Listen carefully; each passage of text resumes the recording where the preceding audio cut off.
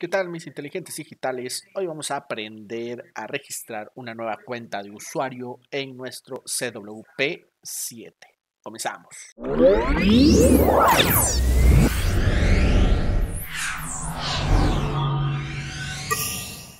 Bien, para iniciar vamos a loguearnos en modo administrador en nuestro CentOS Web Panel.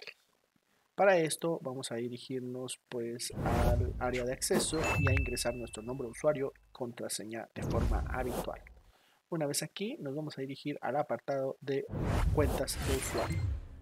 Le vamos a dar clic en nueva cuenta, new account y aquí vamos a ingresar el nombre del dominio al cual vamos a apuntar nuestro servidor. En este caso vamos a trabajar con mobiliariocenitran.com.mx.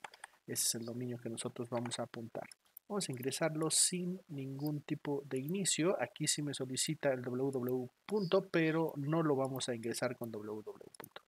Vamos a añadir el nombre de usuario y elegir la contraseña. Yo les recomiendo que esta contraseña incrementen la seguridad para que de esta forma se reduzca el riesgo de intrusión en nuestro servicio. En nuestro caso utilizamos la herramienta LastPass como lo podemos ver, vamos a generar una contraseña de 16 eh, dígitos. Vamos a darle actualizar, perfecto.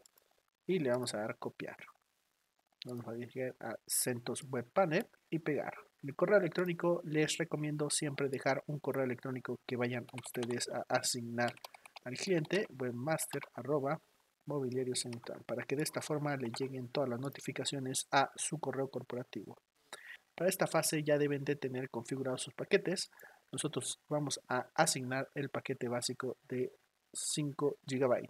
Vamos a darle clic en Auto SSL para generar el, el certificado SSL automático. Si nosotros no lo queremos generar, pues desactivamos esta casilla.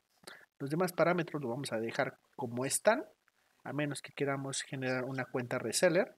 Sin embargo, eh, pues esto sería una cuenta normal. Le vamos a dar clic en crear. Inmediatamente después nos va a arrojar una pantalla como esta en donde nos va a brindar los datos de la cuenta. Les recomiendo copiar y pegar esta información en un blog de notas para que no la extravíen. Le vamos a dar close y de esta forma es como nosotros generamos cuentas de clientes en nuestro CentOS Web Panel.